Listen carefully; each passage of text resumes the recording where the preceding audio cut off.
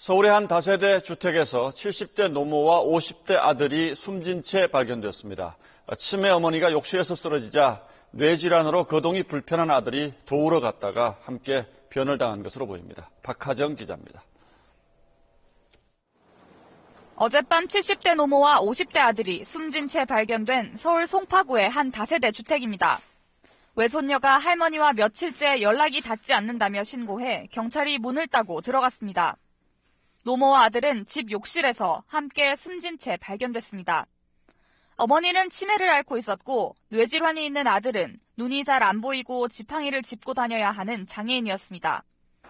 노모는 남편과 사별한 뒤 아들과 함께 살아왔다고 이웃들은 말합니다. 어쩌다 같이 내려오시면은 그 아들이 그 엄마한테 농담같이 얘기하고 또 우리가 볼 때는 상당히 좋더라고요.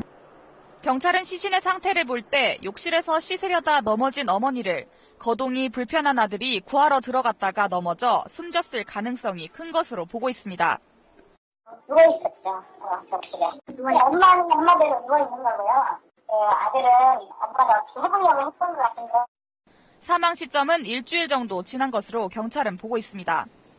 이 모자는 다른 가족들이 종종 들러 돌봐왔고 증세도 심각하지 않아 노인 요양 서비스나 장애인 지원 서비스 대상자는 아니었던 것으로 전해졌습니다.